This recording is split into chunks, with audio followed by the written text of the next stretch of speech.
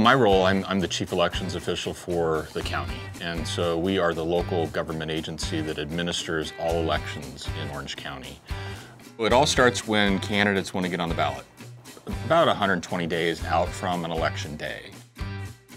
Most candidates, in order to be uh, eligible to run, have to gather 20 signatures.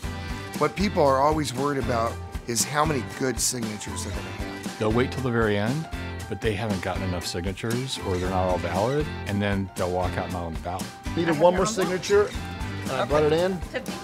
But we are locking the doors at 5, so once you're out, you're out. Nobody's coming in the door, which is a good thing. Otherwise, I'd probably be the one to uh, bear the bad news. You're at 88 days out when that candidate filing period stops. Now you have about 25 day window to get everything prepared, created, printed.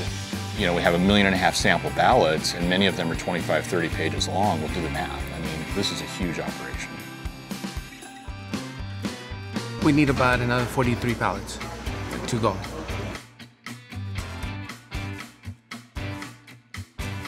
Today is uh, 29 days before the election.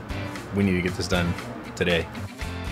So now we're printing up 1.3 million cards to send out to every registered voter in Orange County. Talking about a year's worth of planning coming together for that one single day. Voting to me is it's a privilege. I made the decision that if there was going to be an open seat on the Orange County Superior Court that I would run for it.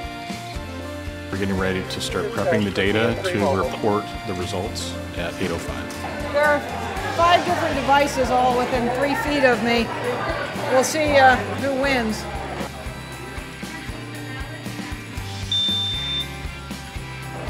There's a massive power outage in Santa Ana is the story I'm going with. Let's go. Come on, come on, come on. 30 seconds to a minute behind because of the power outage and people are saying, where are the results? You know, this, this is a crazy thing. Yeah, the, the cavalry's coming on the power issues. So we have 3.2 million people in Orange County, uh, but we have about a million and a half voters out of that 3.2 million. And you know, if you think about how many ballots we're producing and how much paper is involved in that process for a million and a half people, it's tremendous. Orange County certainly is on a national stage.